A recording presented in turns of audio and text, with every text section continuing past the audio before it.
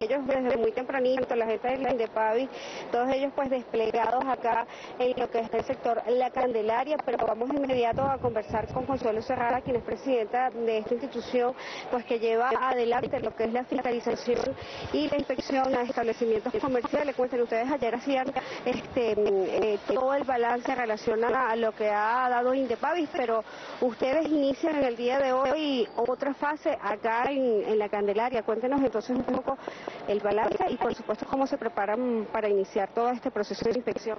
Sí, efectivamente, nosotros nos encontramos aquí en la Plaza de la Candelaria siguiendo los lineamientos del presidente de la República, Nicolás Maduro, del ministro del Poder Popular para la Alimentación, Félix Osorio, del ministro del Poder Popular para el Comercio, Alejandro Fleming, y pues todo el gabinete ministerial que de una forma u otra participan constantemente en lo que es la evaluación permanente de las actuaciones y lo cómo las instituciones con, con carácter fiscalizador debemos estar atendiendo pues el llamado del Poder Popular organizado. Nosotros nos encontramos el día de hoy en la parroquia La Candelaria desplegadas nueve instituciones del gobierno bolivariano, tenemos aquí el Indepavis, tenemos las redes del Poder Popular organizadas, tenemos la Contraloría Sanitaria, Fundaproal, INSAI, SADA, la Guardia del Pueblo apoyando como organismo de seguridad, igual que la Policía Nacional Bolivariana y Sencamer. Nueve instituciones del gobierno bolivariano desplegadas con carácter fiscalizador, atendiendo todas y cada uno de los llamados que el Poder Popular, que las comunidades organizadas realizan.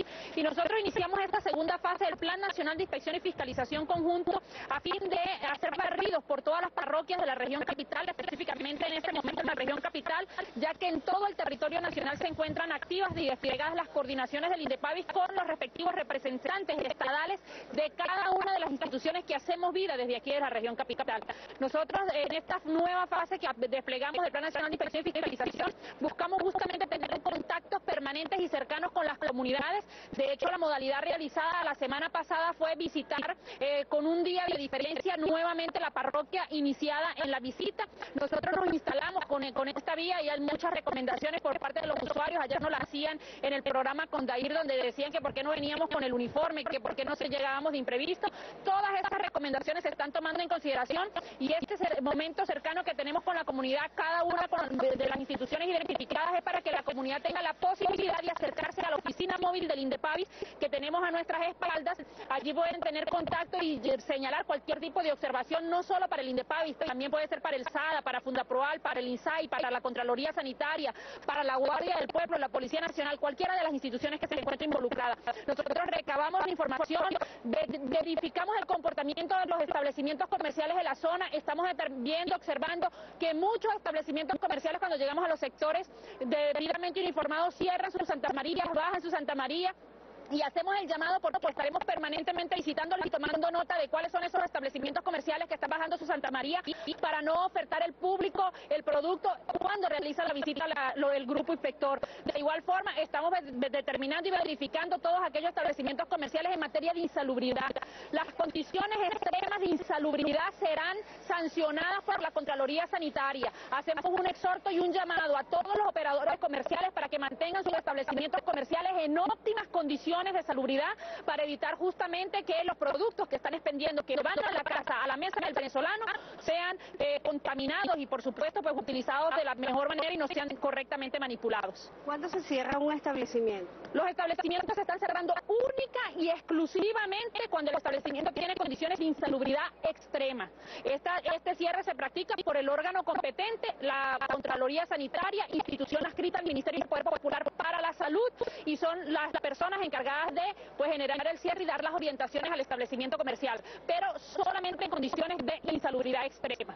Hoy, pues bueno, nos encontramos 180 funcionarios desplegados de las nueve instituciones del gobierno para atender a la parroquia La Candelaria.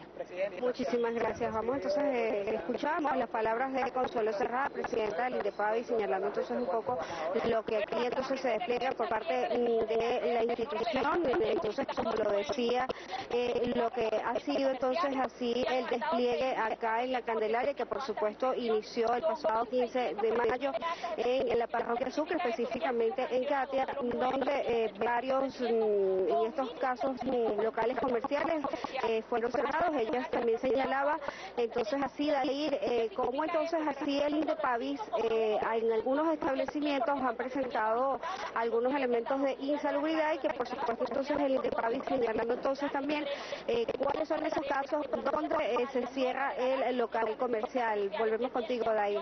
Muchísimas gracias. Leina Sanguino de la Plaza La Candelaria y sumado a estas jornadas que realiza el Indepavis, esto para luchar contra la especulación, el acaparamiento, también se están realizando reuniones, mesas técnicas que lleva adelante el Ejecutivo Nacional que fueron anunciadas, de hecho, entre el lunes 20 y el 24 de mayo. El día de ayer correspondía al sector alimentos, el día de hoy será el sector automotriz que se reúna en estas mesas técnicas y será en la sede del Banco Central de Venezuela. Por supuesto, será noticia el día de hoy. Le sumamos a ello el gobierno de calle que lleva adelante el Ejecutivo Nacional. Fue anunciado el día de ayer por el presidente Nicolás Maduro Moros. Tiene que ver, el gobierno de calle estará visitando el estado Anzoátegui y también el estado Bolívar. Así que nosotros nos despedimos por el día de hoy. Gracias por habernos acompañado. Cuídense mucho y será hasta mañana.